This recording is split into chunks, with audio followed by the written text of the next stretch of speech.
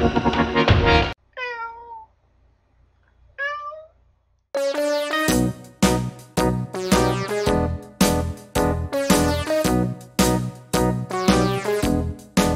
Donskoy, juga dikenal sebagai Donsping, adalah kucing tanpa bulu yang berasal dari kota Rostov-on-Don di Rusia. Kucing ini memiliki ciri khas yang membedakannya dari kucing lainnya, yaitu tidak memiliki bulu atau memiliki sedikit bulu yang lembut. Meskipun demikian, kucing Donskoy sangat populer di kalangan pecinta kucing, terutama karena sifatnya yang ramah dan bersahabat. Sejarah, Kucing Donskoy pertama kali ditemukan pada tahun 1987 oleh seorang wanita bernama Elena Kovaleva. Kucing itu ditemukan di Rostov-on-Don dan diselamatkan dari serangan anjing. Setelah diselamatkan, kucing tersebut diberi nama Varia dan kemudian melahirkan beberapa anak kucing, yang semuanya juga tanpa bulu. Dalam beberapa tahun berikutnya, Elena Kovaleva mulai membiarkan kucing Donskoy dan menjualnya ke luar negeri. Kucing Donskoy kemudian mulai menyebar ke seluruh dunia, dan sekarang menjadi salah satu ras kucing tanpa bulu yang paling populer di dunia. Ciri-ciri, kucing Donskoy memiliki berat badan antara 3 hingga 5 kg. Mereka memiliki telinga besar dan segitiga yang terletak sedikit miring ke depan. Kucing Donskoy biasanya tidak memiliki bulu, tetapi beberapa kucing Donskoy memiliki sedikit bulu halus yang mirip dengan rambut bayi. Warna bulunya bervariasi, dari putih, coklat, hitam, abu-abu, dan lain-lain. Kucing Donskoy memiliki kulit yang halus dan elastis.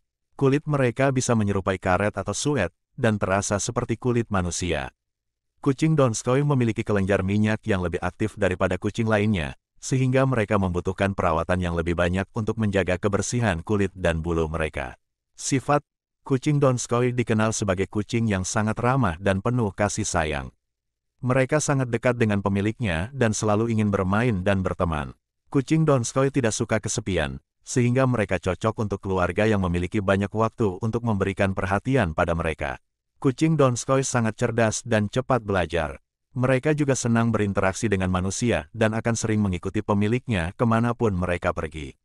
Kucing Donskoy adalah kucing yang sangat aktif dan energik, sehingga mereka membutuhkan banyak waktu untuk bermain dan berolahraga.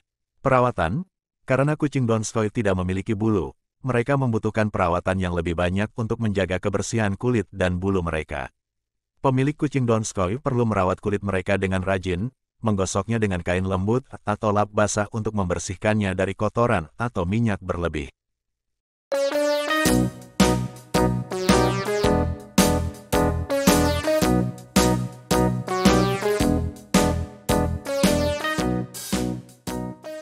Mereka juga perlu menghindari paparan langsung sinar matahari yang berlebihan karena kulit mereka sensitif dan rentan terbakar matahari. Selain perawatan kulit, kucing Donskoy juga membutuhkan perawatan gigi dan kuku secara teratur. Pemilik kucing Donskoy perlu membersihkan gigi mereka dengan sikat gigi khusus kucing dan memotong kuku mereka setiap 2-3 minggu sekali. Kucing Donskoy juga perlu diberi makanan berkualitas tinggi yang mengandung nutrisi yang cukup untuk menjaga kesehatan mereka. Mereka dapat diberi makanan khusus untuk kucing tanpa bulu yang mengandung lemak dan protein yang cukup. Kesimpulan, kucing Donskoy adalah kucing tanpa bulu yang penuh kasih sayang dan sangat aktif. Mereka membutuhkan perawatan yang lebih banyak daripada kucing biasa, terutama dalam menjaga kebersihan kulit dan bulu mereka. Namun, dengan perawatan yang tepat, kucing Donskoy akan menjadi sahabat yang setia dan memberikan kebahagiaan bagi keluarga yang merawatnya.